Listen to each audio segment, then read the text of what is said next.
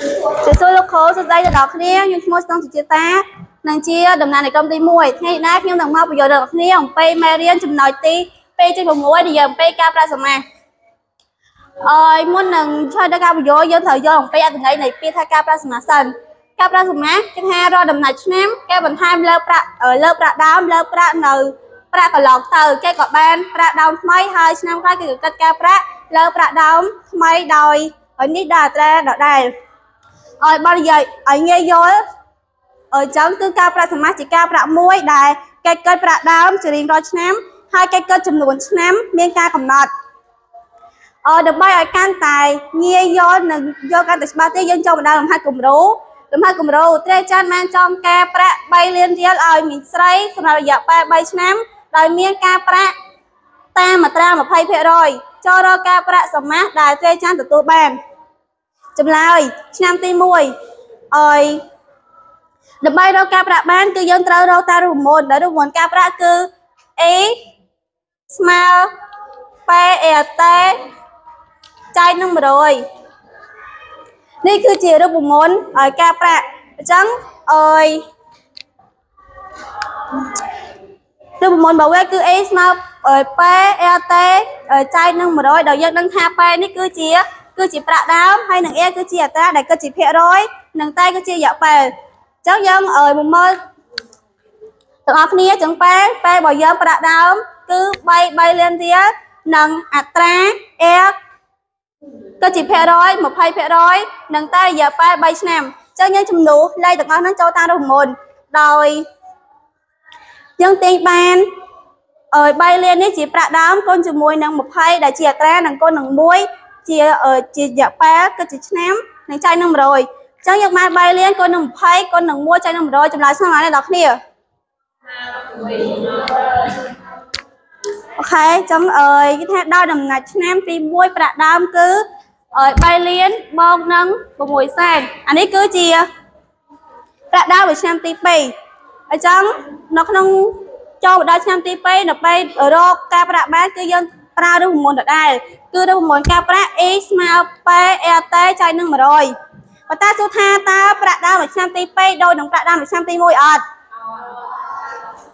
ចឹងដើម្បីរកប្រាក់ដើមមួយឆ្នាំទី2បានយើងត្រូវយកប្រាក់ដើមមួយឆ្នាំទីទី1បូកជាមួយនឹងការប្រាក់នៃឆ្នាំទី1អញ្ចឹងប្រាក់ដើមមួយឆ្នាំទី1របស់យើងស្មើនឹងអ្នកគ្នាបូកជាមួយនឹងប្រាក់ការប្រាក់នៃឆ្នាំទី1 ឲ្យ6សែនអញ្ចឹងយើងបាន3លានបូកជាមួយនឹង6សែនបាន3លាន6សែននេះគឺជាប្រាក់ដើមនៃឆ្នាំទី2អញ្ចឹងយើងចំនួនលេខទាំងអស់ហ្នឹងចូលតាមរូបមន្តដដែលយើងទាញបាន8ជាប្រាក់ដើមបកគុណជាមួយនឹង20ដែលជាអត្រានៅដដែលនិងគុណនឹង1ជារយៈពេលចែកនឹង100អញ្ចឹងយើងឲ្យគណនាលេខហ្នឹងទៅគឺស្មើនឹងស្មើមកដល់គ្នានេះគឺជាការប្រាក់នៃឆ្នាំទីទី2ចាំមកដល់ឆ្នាំទី3 គឺតាមរមូលដដែលអញ្ចឹង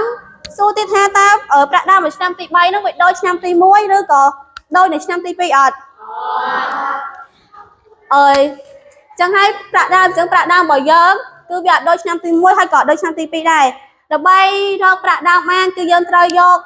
ប្រាក់ដើមនៅឆ្នាំទី2បូកបញ្ចូលជាមួយនឹងការប្រាក់នៅឆ្នាំទី2អញ្ចឹងយើងបានប្រាក់ដើមនៅឆ្នាំទី2របស់យើងគឺ3លាន6សែនបូកជាមួយនឹង ការប្រាក់នៃឆ្នាំទី2គឺ7អើយ720,000ចុះបងបញ្ចូលគ្នាឃើញមកអ្នកគ្នាគឺស្មើនឹងអើយ4លាន3សែនអើយ20000រៀលនេះគឺជាប្រាក់ដើមមួយឆ្នាំទី3យើងចំនួនលេខនឹងចូលរូបមន្តដដែលគឺបានប៉ែប្រាក់ដើមគុណជាមួយនឹង20ដែលជាអត្រានិងគុណនឹង1ជារយៈពេលចែកនឹង100អញ្ចឹងយើងកណនាលេខមកគឺស្មើនឹង 8644000រៀល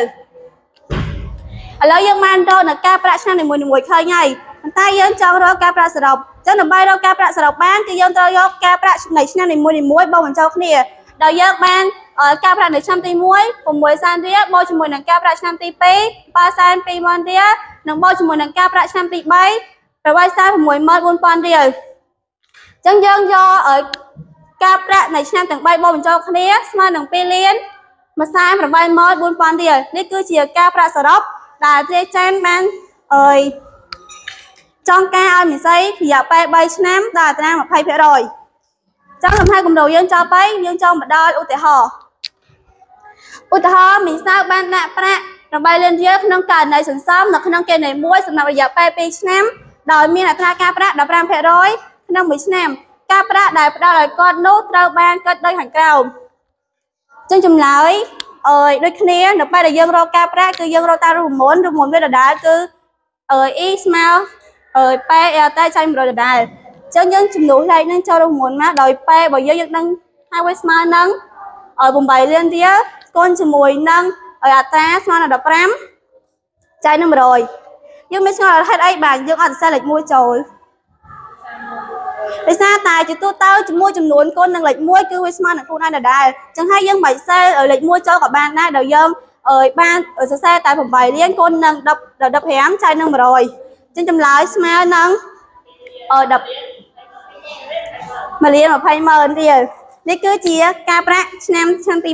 1ចូលមកដល់ការប្រាក់ឆ្នាំទី2អឺការប្រាក់ឆ្នាំទី2គឺរូបមន្តដដែលដោយពេលរបស់យើងយើងដឹងហើយថាអឺយូ រទៅទៅគឺប្រាក់ដើមនៅក្នុងការប្រាក់សមាសគឺវាតែងតែកើនឡើងហើយប្រែប្រួលជារាល់ឆ្នាំយើងអត់អាចអឺ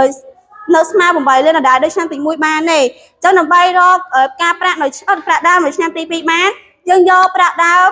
នៅឆ្នាំទី1បូកជាមួយនឹងការប្រាក់នៅឆ្នាំទី1ទៅទទួលបានប្រាក់ដើមថ្មីគឺទទួលបានការប្រាក់ថ្មីអើយគឺយើងបាន8លានបូកជាមួយនឹង1លាន2សែនស្មើនឹង9លាន2សែននេះគឺជា ប្រាក់ដើមមួយឆ្នាំឆ្នាំទី2យើងយើងចំនួនចូលលើប្រមូលដដែលគឺ A ស្មើ9លាន2សែនគុណនឹង15ចែកនឹង100ចម្លើយស្មើប៉ុន្មានអ្នកនរគ្នា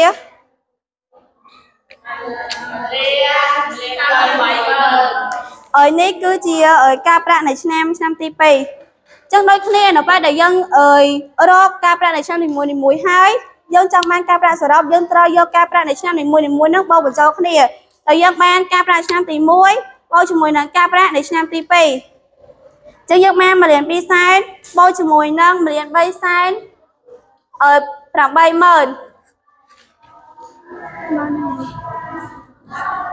ហើយ